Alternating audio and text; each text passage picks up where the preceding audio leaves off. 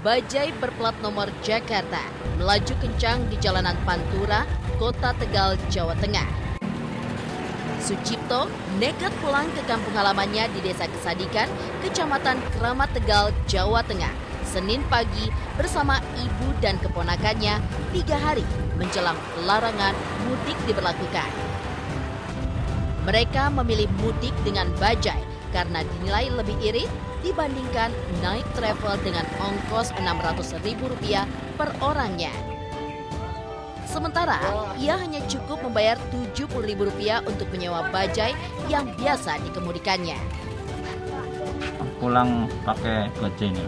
Uh, karena lebih hemat aja pak, Hmm. lebih hemat, irit.